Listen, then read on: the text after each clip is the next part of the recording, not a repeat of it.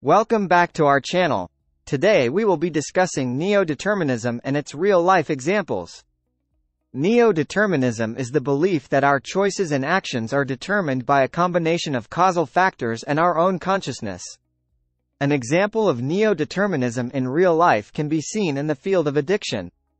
Consider someone who becomes hooked on drugs due to a combination of genetic predisposition, environmental factors, and personal choices.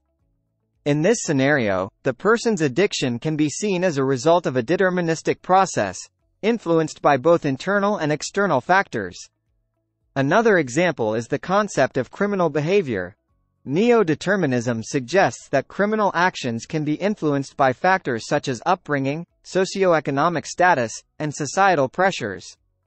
This theory does not deny personal responsibility, but rather emphasizes the impact of various factors on one's choices. Neo-determinism can also be applied to the study of mental illnesses like depression and anxiety, where genetics and environmental factors play a significant role.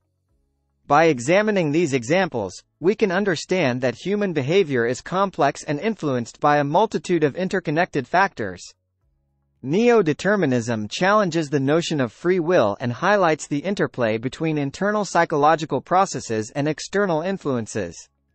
Critics argue that neo-determinism undermines individual responsibility and ignores the potential for personal growth and change. However, proponents of this theory argue that it provides a more nuanced understanding of human behavior and helps us approach societal issues with empathy and compassion. The concept of neo-determinism extends beyond individual actions and can also be applied to larger societal phenomena such as economic inequality or political decision-making. By recognizing the influence of various determinants, we can better comprehend and address these complex issues. In conclusion, neo-determinism posits that our choices are influenced by a combination of causal factors and our own consciousness, with real-life examples seen in addiction, criminal behavior, and mental illnesses. While this theory challenges traditional notions of free will, it offers a deeper understanding of human behavior and societal dynamics.